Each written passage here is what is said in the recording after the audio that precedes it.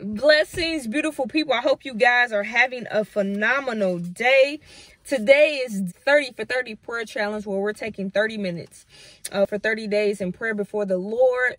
And on today, I have three um, devotional scriptures um, that I'm going to get into.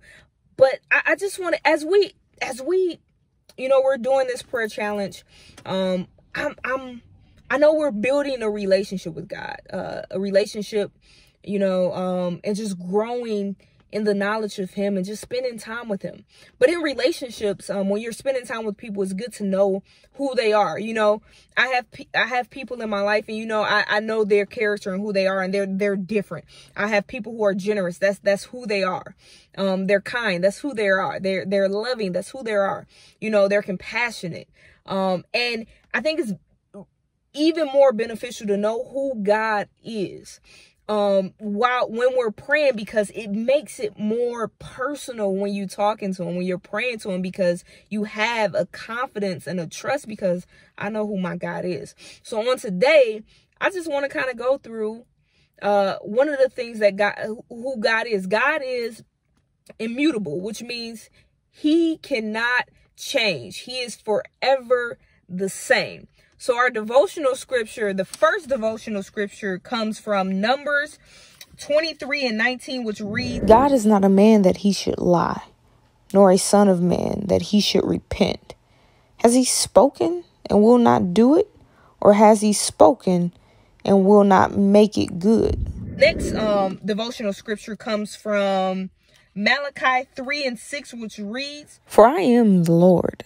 I do not change. Therefore, you, O sons of Jacob, are not consumed. And the last devotional text comes from Hebrews 13 and 8, which reads Jesus Christ is the same yesterday, today, and forevermore.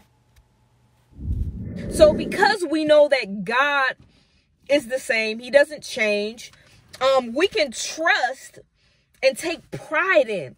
To trust something means you're confident in. We can take trust in God and knowing that he don't change. That if he did it before, he'll do it again. So if he delivered you out of any situation, he's going to do it again. Now, the method in which he delivers you may be different, but it doesn't mean that God has changed. When I think of the children of Israel, God delivered them all the time. He delivered them from the hand of Pharaoh. He delivered them from the the the the the um the, the Red Sea.